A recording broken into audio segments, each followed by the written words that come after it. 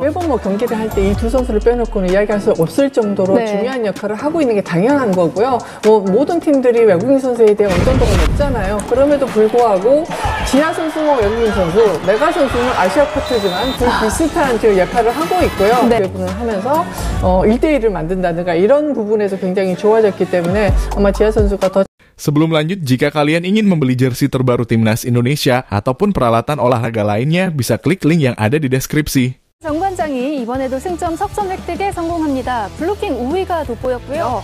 반면 한국도로공사는 부키리치 선수만이 외롭게 분전한 Mengapa Mega diistirahatkan setelah 9 serve beruntun? Ya, mungkin inilah sebuah kata yang akan kita bahas pada bola voli putri saat ini. Mengapa tidak? Mega yang bermain dengan apik dalam performa terbaiknya malah justru harus turun setelah 9 serve beruntunnya. Ya, terlepas dari semua itu, penampilan Mega akhir-akhir ini dipuji oleh media-media ternama Korea. Bahkan juga sosok tandem Mega, sebut saja Jia yang juga mendapatkan sorotan setelah keduanya tampil memukau di pertandingan.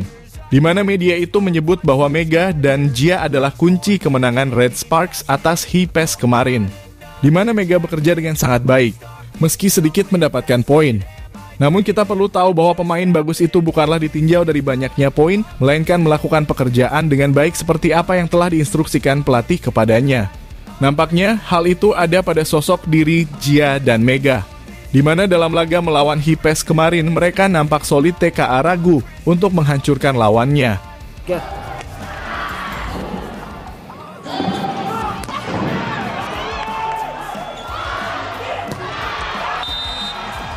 And Day. Now they're doing it a little bit earlier in eight straight points.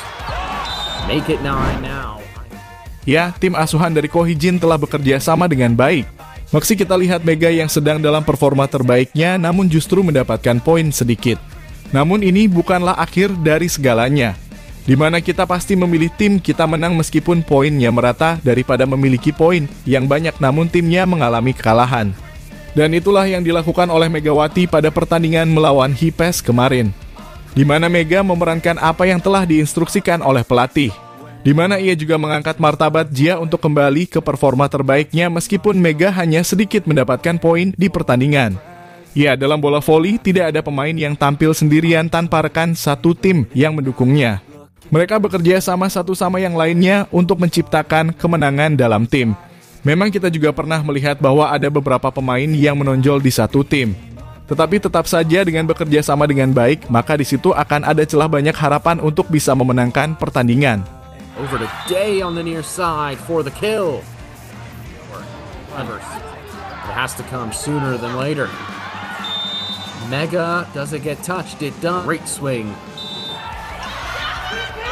Mega.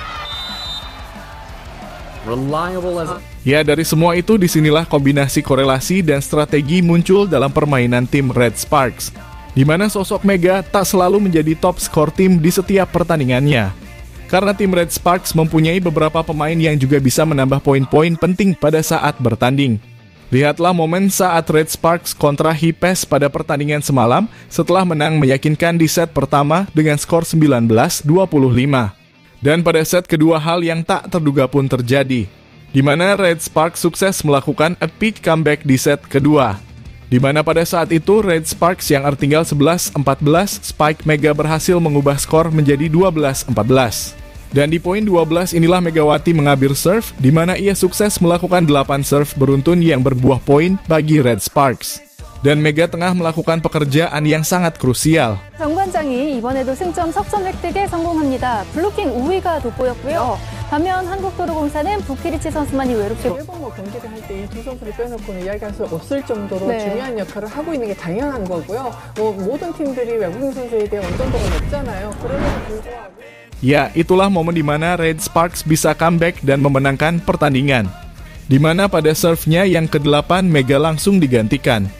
Peran Mega itu lantas menimbulkan pertanyaan kenapa Mega digantikan?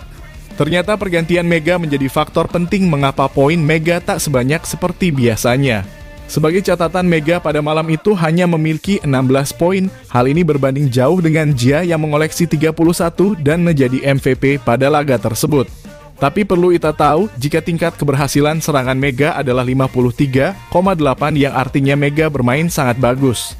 Namun Kohijin tak ingin Mega bermain penuh mengingat Red Sparks masih akan kembali bertanding pada waktu yang dekat dengan menghadapi Hyundai Hillstate, tim yang jauh lebih kuat dari Hipes. Mega.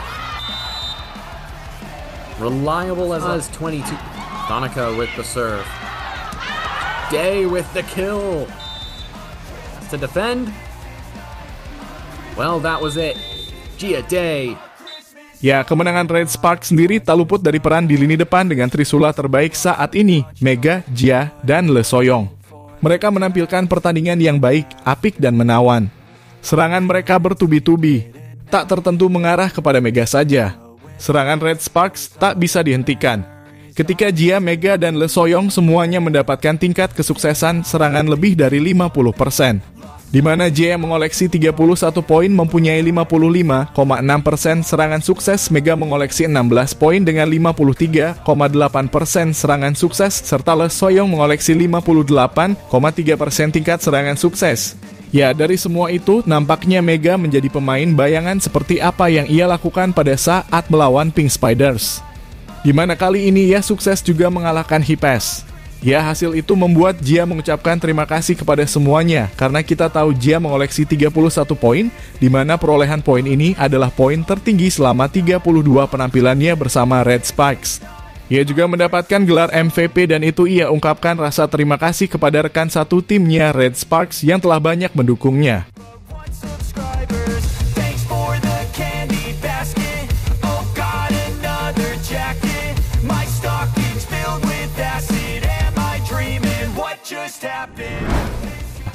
Ya, dalam hal ini, Jia merupakan pemain yang pernah down setelah penampilannya menurun dan jauh dari harapan Kohijin. Namun saat ini perlahan tapi pasti Jia sedikit demi sedikit bangkit dan akan bertanggung jawab atas kepercayaan yang diberikan pelatih kepadanya sehingga ia bisa menampilkan penampilan terbaiknya dan mendapatkan MVP pada pertandingan melawan Hipes kemarin.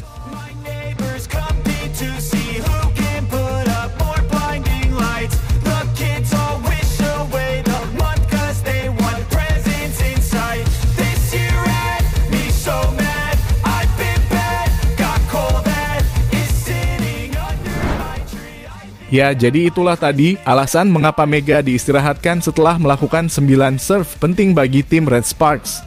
Dan terkadang poin individu tak cukup penting dibandingkan dengan kemenangan tim dan bisa melangkah ke jenjang berikutnya.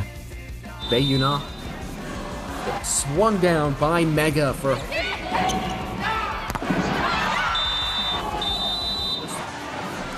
And it's blocking serve after it gets over the net. And then Mega dug out at the back row over to Day on the near side.